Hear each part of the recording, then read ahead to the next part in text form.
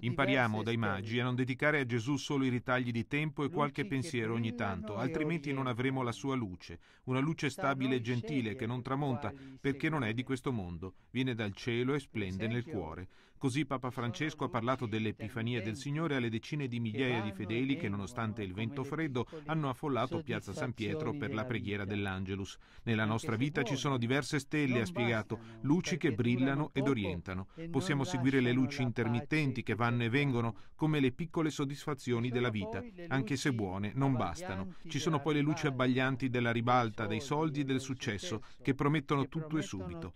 La luce di Gesù invece squarcia le tenebre, illumina e rischiara. Invito tutti, ha detto il Papa, a non aver paura di questa luce e ad aprirsi al Signore. Ed ha incoraggiato chi ha perso la forza di cercare, chi, sovrastato dall'oscurità e della vita, ha spento il desiderio.